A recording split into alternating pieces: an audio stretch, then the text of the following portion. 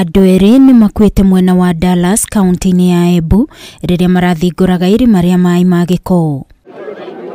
Kũringana na amwe a arĩa mareyoneire mũtino ũyũ ũkĩhanĩka ũmwe wa erĩ aya arakuire akĩgeria kũhonokia mũrunawe ũrĩa ũrahatĩte irima-inĩ rĩrĩ rĩrĩa nĩ rĩa ũriku wa fiti igana rĩmwe. Ni sikitiko sana kuona vijana wetu wanapotea kwa hali kama hii, wanapoteza maisha yao kwa hali kama hii.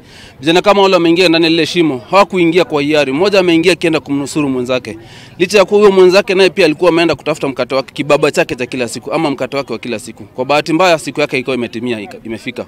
Mwenzake alipokuja kumwokoa pia naye, kabla hajafika nusu, hewa imempungukia na akawa hayuko tena. wenye wanachukua jukumu kama ni pande ya soko ni soko, kama ni pipeline, sewage line iwe ina maintenance in a way that mtu mwenye akipigiwa ripoti line imekuwa mapari anatusaidia rather than tunafanya kazi yenye hatujui and we are not experienced, ndio tupate riski. kwirikanite ati eri aya marakuire kumana na kwaga riera riganu thutha wa kuingira irima-inĩ rĩrĩ Ingekuwa ku- serikali iko na vifaa za haraka haraka kuokolea watu, hao watu hawangetuacha.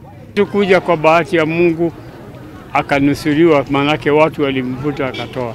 Hili shimo ni sisi tulilitengeza tukiwa na kampuni ya Kisip.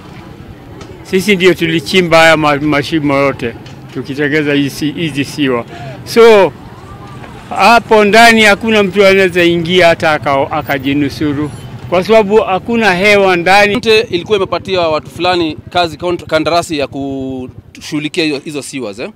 Ile kitu tulisahau hapa ni maintenance ya zile sewers. Maintenance ya zile sewers. That's why unakuta kijana kama huyo wa kwanza alipoingia pale alikuwa amepatiwa kibarua na mtu tu aenda akatoa ile nini akakwamua ile taka ilikuwa pale ndani. Kwa bahati mbaya akalemewa na nini na ile hewa. agikira ndeto ino mukode OCPD wa Embu ya ithuiro Julius Kiumbule augite uthuthuria ni wambikitwo niguo gukurana kiria kiracungiriirie gikuo kia area ya ngiribotera Kameme TV ni njitagwo Wangui wa Mwĩrore